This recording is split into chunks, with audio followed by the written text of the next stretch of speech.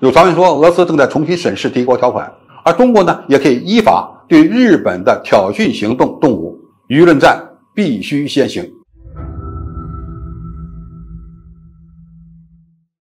在乌克兰战争持续的背景下，日本与俄罗斯之间的敌对情绪也在日益加深。日本对俄罗斯实施了个人和企业制裁，并且冻结了部分的俄罗斯企业资产。俄罗斯对日本的反击手段也比较直接，那就是中断了两国有关南千岛群岛的主权谈判。但是，随着日本正在向乌克兰战场提供爱国者防空武器系统，还有可能将俄罗斯的部分被冻结的资产移交给乌克兰。为此，俄罗斯需要对日本酝酿新的反击手段。最近，海外社交媒体上流传着一则非常有意思的消息，那就是俄罗斯总统新闻秘书佩斯科夫声称，俄罗斯正在研究联合国宪章第一百零七条，以应对日本的不友好态度。尽管这一消息的真实性尚未得到官方证实，但它无疑引起了日本政治人物的广泛关注和讨论。对于在台湾问题上同样面临日本干涉风险的中国，这一事件也给我们提供了一个反思和审视联合国宪章的机会，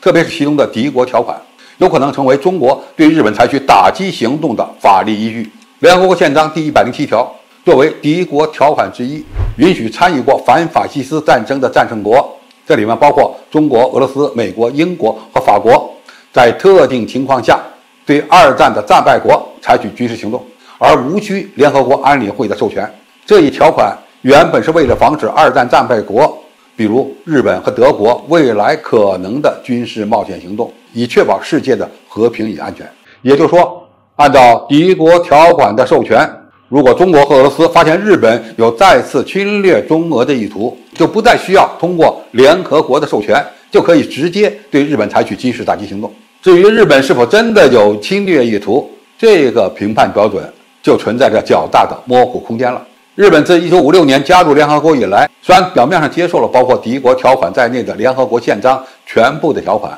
但其内心一直试图摆脱这些条款的约束。几十年来，日本在联合国范围内采取的外交行动，试图抹除这些条款，但至今未能成功。日本近年来在美国的影响下，对中国采取了更加入骨的反华政策，其防卫白皮书将中国列为威胁，并以此为由增加军费开支。打造进攻型的军队，这些都为中国引用敌国条款采取军事行动创造了条件。根据联合国宪章第一百零七条，如果日本敢于武力挑衅中国，中国有权进行武力反击，而无需经过联合国安理会的授权。此外，中国还可以利用第七十七条关于敌国在二战中非法占领土地的托管规定，进一步维护国家领土完整，包括我国对钓鱼岛的领土主张。以及对琉球群岛的主权提出质疑，在当前的国际政治环境中，中国无预警的对日本动武的可能性几乎为零。这件事真正的价值在于舆论战的层面，